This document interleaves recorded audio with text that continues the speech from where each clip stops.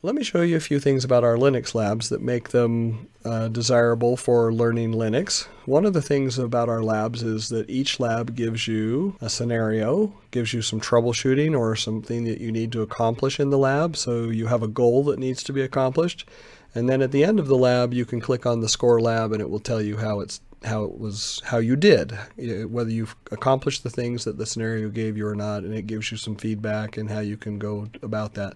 One of the other things that is great about our linux labs is that we've integrated them into the office environment. So the linux computers are part of a full network and they have the full capability of the network.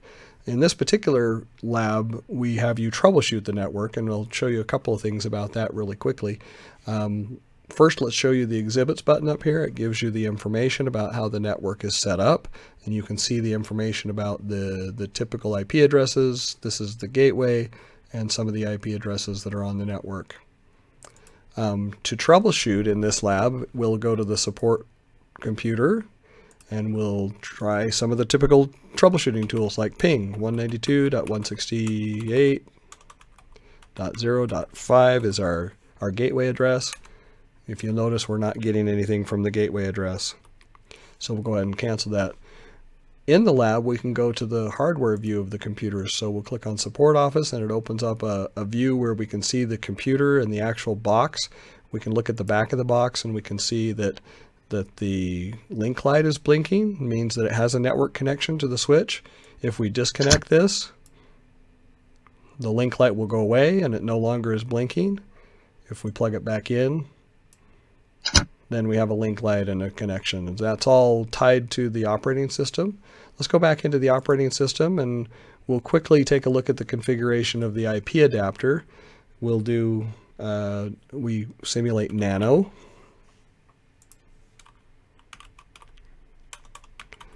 And we're going to go to the ETC folder.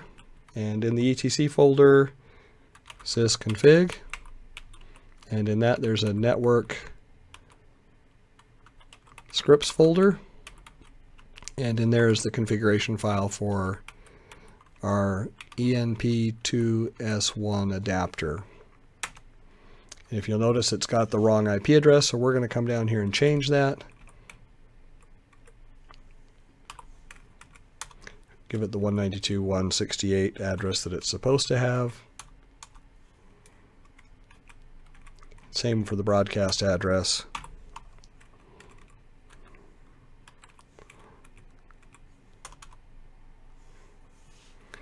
We'll do a control O to write that out and a control X to exit. And we'll bring the link up and down to let it take on that new configuration. Link, IP link set, and then the name of the adapter, ENP2 2S1. We're going to bring it down, and then we'll bring it back up. And now we should be able to ping our gateway 192 168.0.5. The ping is successful. If we do an ifconfig, you'll see that the correct address and the correct broadcast address are now assigned to this. So in this lab, we, we've been given a troubleshooting scenario that we have to figure out. We solve the problem, and then we get some feedback on the scenario as to how we did by clicking the Score Lab button. So let's go ahead and click Score Lab and you'll see that of the three things that we were supposed to troubleshoot in this lab, we've successfully accomplished the first one. And it lets us know that we've successfully accomplished that. And the lab report also gives us some information as to how we could have gone about doing that if we didn't do it successfully. So that scenario and the grading to tell you how you've done is one of the the key features of uh, our Linux labs that, that you don't get with just playing on a Linux system yourself.